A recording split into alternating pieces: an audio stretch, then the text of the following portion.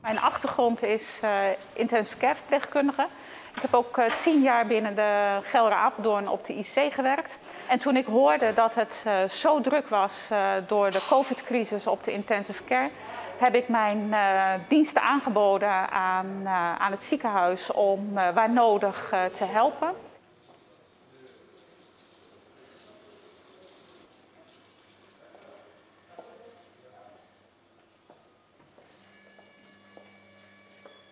Ja, dat, dat, dat vind ik wel heel jammer.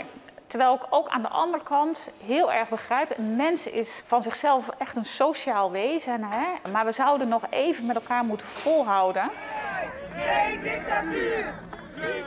Ja, nu zijn er natuurlijk ook mensen die niet geloven dat het een probleem is. Uh, wat, wat zou je tegen hen willen zeggen? Ja, weet je, uh, het heeft niet zoveel zin om die mensen te overtuigen. Want als je daarin gelooft, dan uh, wordt het lastig. Hè? Maar uh, ja, het, het, het, is geen broodje aap verhaal. Misschien geloof je het zelf niet, maar denk wel aan het welzijn van de mensen om je heen. Dus wij zijn wel klaar met het virus, maar het virus nog niet met ons. Wel een gevleugelde uitspraak. Ja, maar het is echt zo. Ja.